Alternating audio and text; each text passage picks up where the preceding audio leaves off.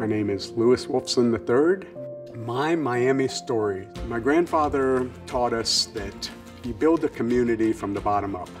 If you have a strong foundation, you can build upon it and your city will become a great city. Continue to try to do my share to make Miami a better place for all of us to live. I've taken the housing to what I consider a new level. We have over 40,000 residents where we have changed the lives of these families living in safe, decent, and affordable housing. And so it really has been a commitment and a passion, and I see major change. We're all good at a few things, but the Miami Foundation can bring together hundreds and hundreds of good things to affect all of us, not just a few of us.